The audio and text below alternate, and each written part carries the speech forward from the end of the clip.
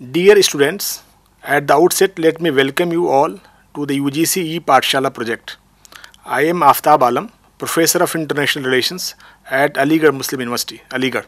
This module will offer a comprehensive introduction to the protection of minority rights under international law.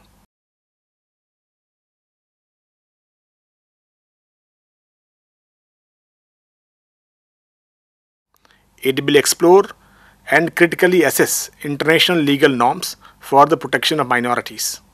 It will also provide an introduction to conceptual and theoretical issues like definitional dilemma and justifications of minority rights under international law. It will primarily focus on the content of minority rights recognized under international law. Students, there is hardly any country in the world that does not have minorities within their territories, characterized by their ethnic, religious, or linguistic identity, different from that of the majority population. Although there is no accurate statistics, the UN estimates suggest that 10 to 20 percent of the world population belong to minority groups. In most cases, minorities are among the most disadvantaged groups in society and their members are often subjected to injustice and economic and social discrimination. Their exclusion from power is often combined with the denial of dignity, identities, and culture. They are also excluded from meaningful participation in public and political life. Even in this modern age, cases of genocide targeting minorities are also reported. Although protection of minorities has been one of the oldest concerns of international law, but the need of their protection has perhaps never been as urgent as it is in our time. Friends, the first issue that will be addressed in this module is to understand the very concept of minority in international law. A general understanding of the term minority must precede any discussion on the content of minority rights as it is full of complexities and controversies. Surprisingly, until the present day, despite various attempts made in the past, there is no generally agreed definition of the term minority in international law. There are also no settled criteria for determining a minority. This situation has arisen due to a number of factors. There are strong conceptual differences and states often hold extremely politicized and uncompromising standpoints. The difficulty is also because of its inherent ambiguous nature. It is often claimed that each and every individual in one form or other belongs to a minority. The failure to arrive at a consensus definition of the term minority certainly impinges on the substantive rights of minorities. States attempting to deny minorities their rights often take advantage of definitional difficulties.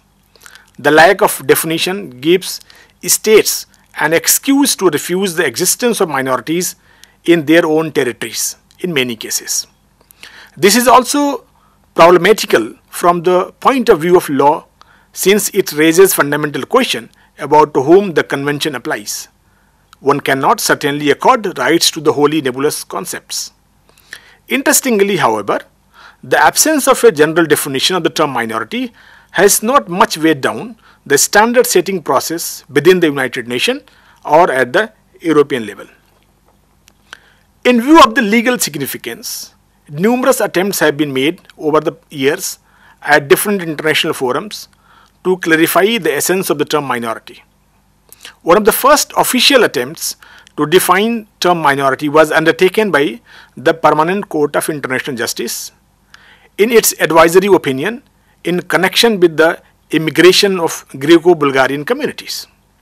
The definition by the PCIJ, that is Permanent Court of International Justice, refers minority in the context of a community as a group of persons living in a given country or locality having a race, religion, language and traditions of their own and united by the identity of such race, religion, language and traditions in a sentiment of solidarity with a view to preserving their traditions, maintaining their own form of worship, securing the instruction and upbringing of their children in accordance with the spirit and traditions of the race and mutually assisting one another. The PCIJ definition employs two tests to determine minority status. The first, the objective test that is the existence of facts like race, religion, language and tradition. Second, the subjective test, the sentiment of solidarity and the desire to preserve traditions. The PCIJ elaboration of the term minority did not contain a single reference to numerical factor, a requirement of non-dominance or a nationality requirement. The most extensively cited definition of minority is probably that proposed by Francis Capotorti, who had carried out the even most prestigious study on the question of minority. He defined minority as a group which is numerically inferior to the rest of population of a state and in a non-dominant position, whose members possesses ethnic, religious or linguistic characteristics which differ from those of the rest of the population and who, if only implicitly maintain a sense of solidarity directed towards preserving their culture, traditions, religion or language. Another important attempts were made by Julius Deschênes, who defined minority as a group of citizens of a state constituting a numerical minority and in a non-dominant position in that state, endowed with ethnic, religious or linguistic characteristics which differ from those of the majority of the population. Having a sense of solidarity with another, motivated if only implicitly by a collective will to survive and whose aim is to achieve equality with the majority in fact and law. There was nothing novel in the definition of minorities provided by Deschênes. In the absence of a clearly formulated definition, however, one can still deduce certain objective and subjective elements for a possible agreed definition based on different definitions proposed by academia and international organizations as most of definitions have common components. Nonetheless, some of these characteristics are not without any controversy, indicating our inability to arrive at a consensus definition. There seems to be general agreement about the requirement of a numerical inferior position, political non-dominance, ethnic, religious or linguistic characteristics, which are different from the rest of the population and the collective desire to preserve their distinct identity. These elements certainly help clarifying the essence of the concept of minority in international law. After this brief introduction about the concept of minority, we will talk about another important question as to why minority groups be accorded special rights under international law.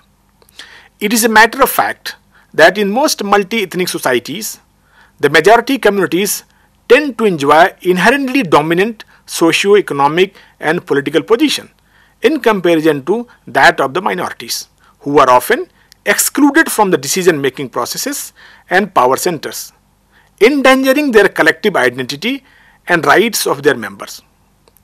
The non-dominant and inferior status of minorities renders them subject to discrimination at different stages by both state and private actors. The oppression and persecution of minorities are also reported in some situations. In multi-ethnic societies, according to a philosopher Kymlicka, states face a choice of pursuing either integration or accommodation while dealing with the question of minority rights. This leaves the choice of either encouraging assimilation of minority groups to the mainstream culture or allowing minority groups to preserve their distinctiveness through separate institutions. It is widely acknowledged that policy of accommodation can help preserve distinct identity of minorities. The policy of assimilation will destroy the identity and culture of minorities, leading to their exclusion from the mainstream. Pursuant to the policy of accommodation, the need of a legal framework is always emphasized to protect the distinct identities of minority groups. It is because of their vulnerability in any given society minority groups always need special status and protection to ensure that they also enjoy the same rights and protection as enjoyed by the majority. It is in the light of these facts, a consensus has arrived both at international and national levels that minority groups need special rights and protections to save them from oppression, persecution and forceful assimilation. In some situations, special affirmative actions are also needed in their favor to achieve the real and substantial equality in the society. In minority school in Albania case, the Permanent Court of International Justice insisted on the notion of equality in fact and held that there would be no true equality between a majority and a minority if the latter were provided of its own institutions and were consequently compelled to renounce that which constitutes the very essence of its being a minority. The PCIJ in the same case stated that minority rights fall beyond purely anti-discrimination objectives. Rather, they especially aim at preserving the characteristics which distinguish the minority from the majority, satisfying the ensuing special needs. Now I will briefly talk about the development of minority rights under international law. The protection of minorities under international law is relatively new. Although its origin can be traced back in the 17th century, reforms regarding protection of religious minorities. One of the early attempts at protecting minorities was the 1648 Treaty of Westphalia, wherein state parties agreed to respect the rights of certain, of course not all, religious minorities within their jurisdiction. The Congress of Vienna of 1815 also dealt with the rights of minorities to some extent. The 1876 Treaty of Berlin also recognized the traditional rights and liberties of religious minority community of Mount Athos in Greece. In, in addition, the first Bulgarian constitution of 1879 contained safeguards for its Greek and Turkish minorities. The minority protection system developed by the League of Nations through peace treaties adopted at the end of the First World War was the first remarkable, systematic and comprehensive attempt to offer legal protection to minorities at international level. The League of Nations system created legally binding obligations through a set of international treaties, formulating rules for minority protection, enforced by the League Council and adjudicated by the Permanent Court of International Justice. The League system was certainly a bold and innovative experiment, but was far from being perfect. It had significant limitations and weaknesses. Its scope embraced only the states on which the peace treaties imposed obligations. Further, the system primarily directed at achieving peace rather affording protection to minorities per se. The system was discriminatory as main powers like Germany, Italy, despite considerable number of minorities within their jurisdiction, did not undertake any commitment to grant same rights to their minorities. Despite numerous shortcomings, of course, the merits in League of Nations system continue to provide inspiration even today. The United Nations succeeded the League of Nations as a new world organization immediately after the World War II. Unlike its predecessor, however, it took a completely different approach to the issue of minority rights. For a long time since its creation, the United Nations showed, if at all, little interest either to adopt the minority protection system of the League or to develop a new system of its own for the protection of minorities. The United Nations preferred to develop a universal system of protection of human rights for all. It was argued that a broad system of human rights supported by strong prohibition on discrimination based on race, ethnicity, language or religion would be suffice to protect the legitimate interests of minorities and no special measures for them would be required. Hence, neither the UN Charter nor the Universal Declaration of Human Rights did make any reference to minority rights. Nonetheless, continuous efforts were made by some states to bring the issue of the protection of minorities on the main agenda of the United Nations. The 1948 UN Convention on the Prevention and Punishment of the Crime of Genocide seemed to be only exception of the post-World War II trend of subsuming minority rights within the broader framework of human rights. Genocide Convention was directed against the destruction of national, racial, ethnic and religious groups as such and accordingly guaranteed the most basic group right, the right to physical existence. Though the Genocide Convention did not directly mention minorities, they clearly stood to benefit from it. The post-Cold War upsurge of ethnic conflicts in Europe and other parts of the globe sadly validated this claim. The UN, however, later realized that further measures were needed in order to better protect persons belonging to minorities from discrimination and to promote their identity. This slight change in the UN approach was witnessed when the United Nations Commission on Human Rights decided to establish a subcommission on prevention of discrimination and protection of minorities. Although initial efforts of the subcommission relating to minority protection were in fact rebuffed by the commission itself.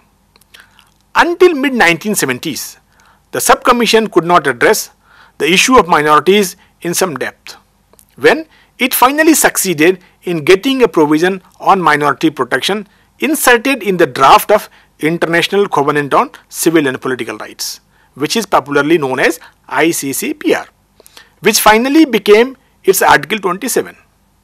Later, in 1978, its special rapporteur Francesco Capotorti completed the most seminal study on minorities and the subcommission also recommended adoption of a declaration on the rights of minorities.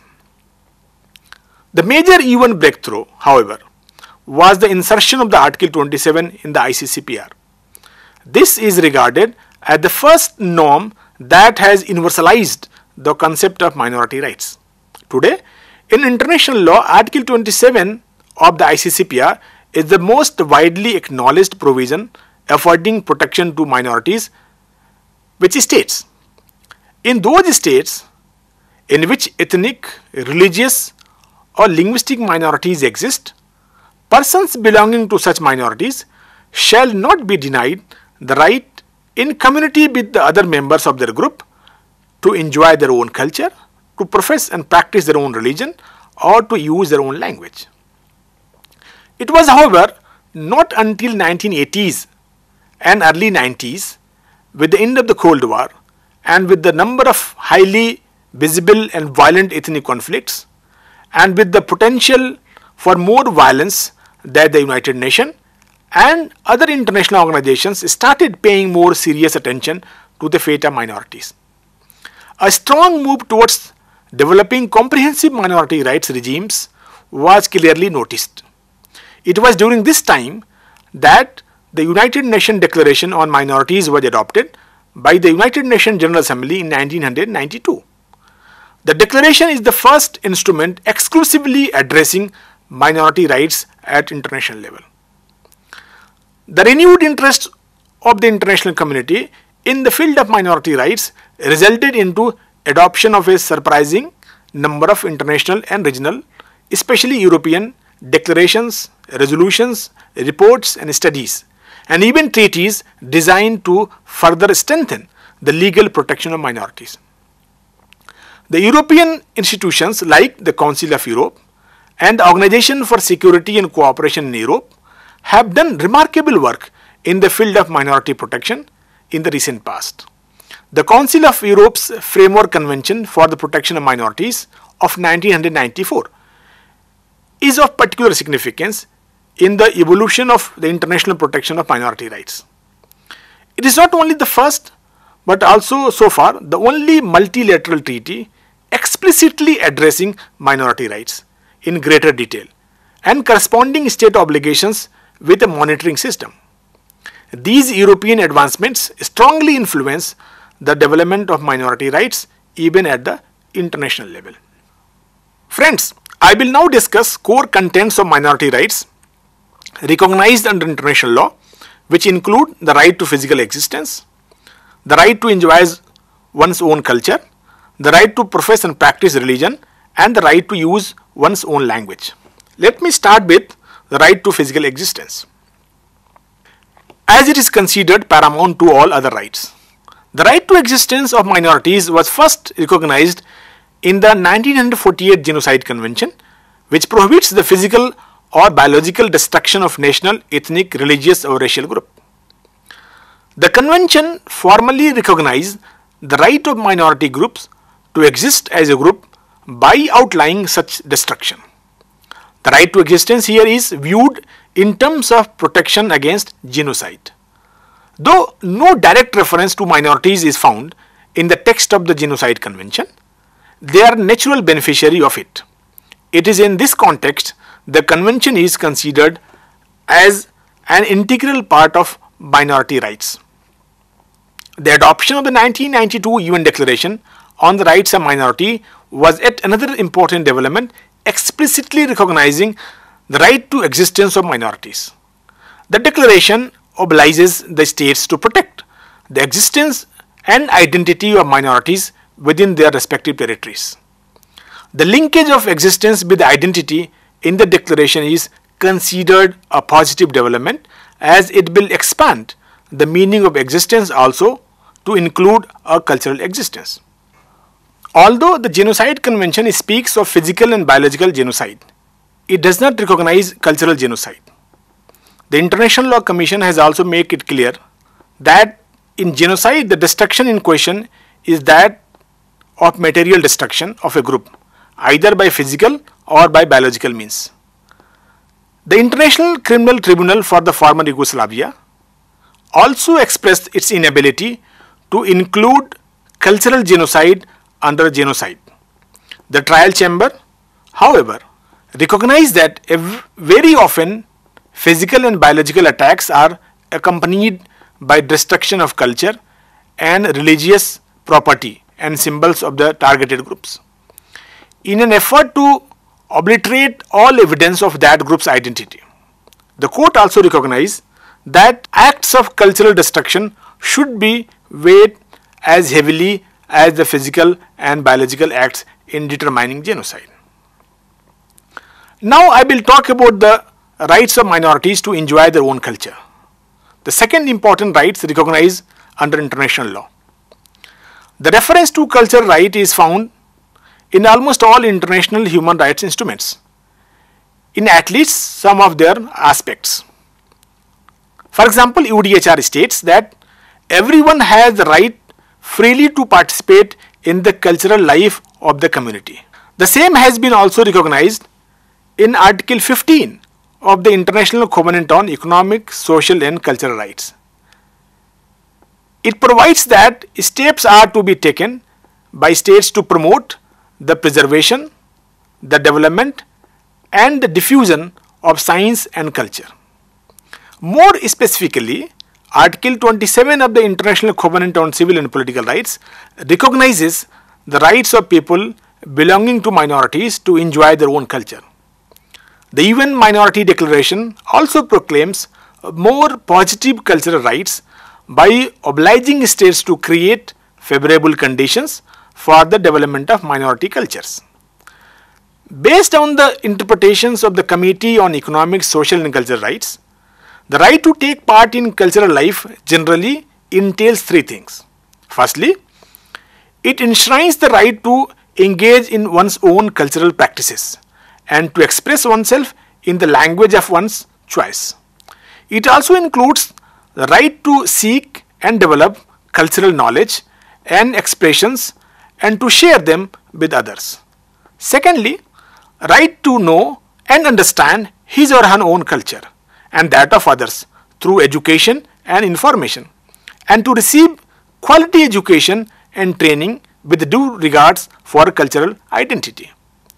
The use of cultural resources such as language, institutions and land, water, biodiversity and also the enjoyment of benefits from the cultural heritage are also included therein. Thirdly, it entails the right to be involved in creating the spiritual, material, intellectual and emotional expressions of the community. This also includes the right to take part in the development of the community to which a person belongs.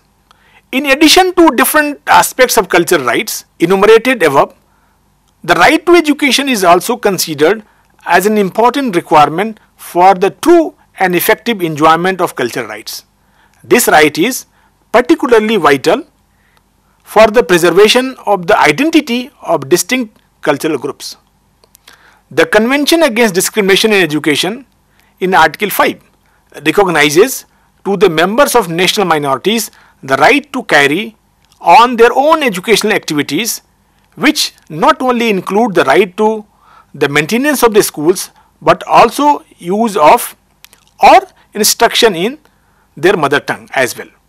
Similarly, the Committee on Economic, Social and Cultural Rights in its general comment on right to education emphasizes on securing a culturally appropriate education, especially for minorities and indigenous peoples. The cultural rights of minorities are not absolute and may not be legitimately exercised in any manner or to an extent inconsistent with other human rights recognized by the International Covenant on Civil and Political Rights. Generally, cultural practices which are inconsistent with national laws and contrary to the international standards are excluded from the ambit of cultural rights of minorities. The participation in any activity which is detrimental to the sovereignty and security of the country is also not permissible. Thus, minority rights mainly aims at protecting minority groups from cultural assimilation into the dominant cultures and securing minimum conditions required for the preservation of the cultural identity of minorities. Let me now throw some lights on the rights of minorities to profess and practice their religion. The contemporary response to religious intolerance and persecution has mainly been in recognizing democratic principles of religious freedom, granting every individual citizen the right to adopt his or her own religious beliefs without fear of government and neutrality of governments on religious issues. The Universal Declaration of the Human Rights in Article 18 recognizes that everyone shall have the right to freedom of thought, conscience and religion.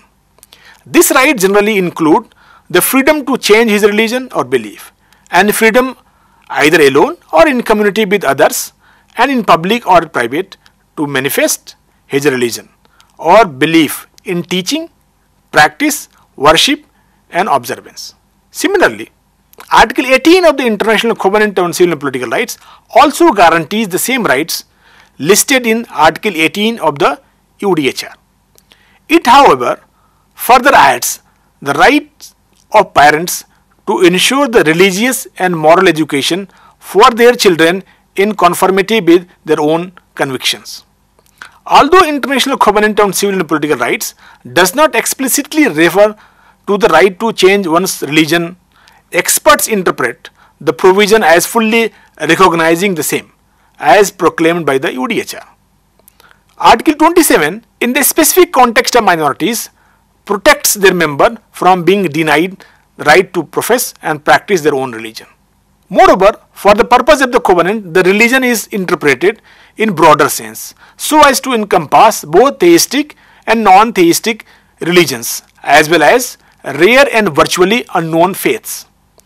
For all practical purposes, the religious rights set forth in Article 27 for minorities has probably been subsumed into the similar guarantees included in the covenant and other human rights instruments. The 1981 UN Declaration on the elimination of all forms of intolerance and of discrimination based on religion or belief provides a comprehensive catalogue of religious rights in its Article 6, which include the right to have a religion or belief of his choice and manifest the same in worship, observance, practice and teaching. To worship or assemble in connection with the religion or and to establish and maintain places for these purposes. to make, acquire and use to an educate extent the necessary articles and materials related to the rites or customs of a religion or belief. To write, issue and disseminate relevant publications in these areas. To teach a religion or belief in places suitable for these purposes. To observe days of rest and to celebrate holidays and ceremonies in accordance with the precepts of one's own religion or belief. And to establish and maintain communications with individuals and communities in matters of religion and belief at the national and international levels. The 1981 declaration reflects our general understanding on religious rights. In the end, I will discuss linguistic rights of minorities. A major aspect of minority rights has been the right of minority groups to use their own language. In many states, they speak languages different from that of the dominant group and often face difficulties in using the language in public sphere. In this regard, Article 27 of the International Covenant on Civil and Political Rights is of great importance. It provides that individuals belonging to linguistic minority may use their language amongst themselves and that the state must not seek to restrict their affairs because of their status as a linguistic minority. For instance, minorities are allowed to maintain their schools imparting instruction in their own languages, although a government is not obliged to financially support such schools. More explicit provisions on linguistic minorities are contained in the 1992 UN Declaration on Minorities. It encourages states to adopt appropriate legislative and other measures to protect and promote the linguistic identity of minorities. For example, Article 4 obliges states to create favorable conditions to enable persons belonging to minorities not only to express their characteristics but also develop their culture, language, religion, tradition and customs. It further provides that the state should take appropriate measures so that wherever possible persons belonging to minorities have educate opportunities to learn their mother tongue or to have instruction in their mother tongue. It also obliges states to promote the learning about history, tradition, language and culture of the minorities. The European instruments specify linguistic rights of minorities in greater details and significantly raise the standards of protection particularly in areas where international instruments are extremely deficient. At the first international legal instrument devoted to the protection of minority language, the 1992 European Charter for Regional or Minority Languages has impressive achievements. The Charter covers the provisions relating to use of minority languages in education and in media, in legal and administrative contexts, in economic and social life, for cultural activities and in trans-frontier exchanges. The 1995 European Framework Convention for the Protection of National Minorities also sets forth a number of significant principles relating to protection of linguistic minorities. It recognizes the right of individuals belonging to a linguistic minority to use their language amongst themselves in private as well as in public. It also acknowledges the importance of the use of minority languages before public authorities. It also contains provisions regarding the right to use one's personal names in the minority language and the right to official recognition of them in accordance with their legal system. It further adds the right to display minority language signs, inscriptions and other information of a private nature visible to the public. It also obliges states to display traditional local names, street names and other topographical indications intended for the public also in the minority language, especially in areas traditionally inhabited by minorities.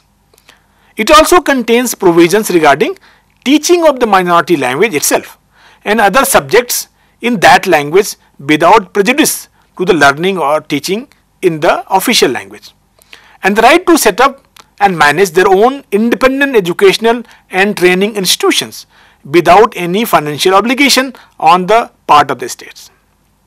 Let me now conclude the talk. The presence of one or more minority groups in almost all states is a reality of modern time. It is neither imperative nor possible for every state to be ethnically, religiously and linguistically pure. It is also a stark fact that minorities have suffered discrimination, deprivation and forced assimilation. It is in the light of these facts, a consensus has arrived both at international and national levels that minority groups need special rights and protections.